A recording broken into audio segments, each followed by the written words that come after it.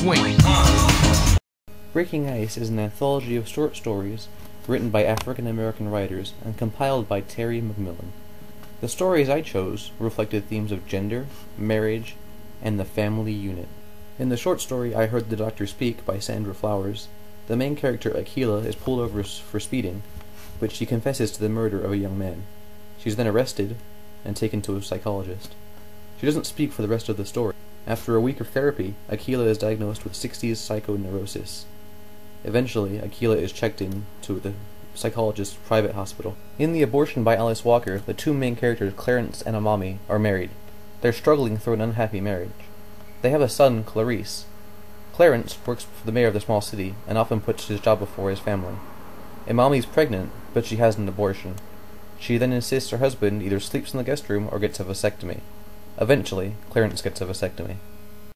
In Suitor by Percival Everett, the four main characters make up a family unit. The mother character, referred to as Ma, is thought to be crazy by the rest of the family. Eventually, one of the sons, Craig, hits her over the head with a china bowl. Later, Craig begins collecting dead bird carcasses and storing them in a uh, box in the garage. The other son, Martin, and the dad character find the the box, assuming it to be mother's, and then Craig begins to doubt his sanity. In Spilled Salt by Barbara Neely, the two main characters, Myrna, the mother, and Kenny, the son, interact after Kenny has just been released from prison after serving a five year term for rape. He comes to Myrna's house and acts normal. This disturbs Myrna, who avoids Kenny at great length. Myrna still loves Kenny, but even though she loves him, she does not like what he has become. In the end of the story, Myrna leaves a note for Kenny, stating that she will not be returning. In The Shadow of the Peacock by Grace Edwards Yearwood, the main characters Noel and Frida are husband and wife.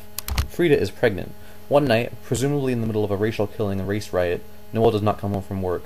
Frida leaves her apartment to search for Noel. Free Noel is actually coming home late for work. Though there is no clear ending to the story, we can imply that Frida is killed in the riot, and the fate of her unborn child is unknown.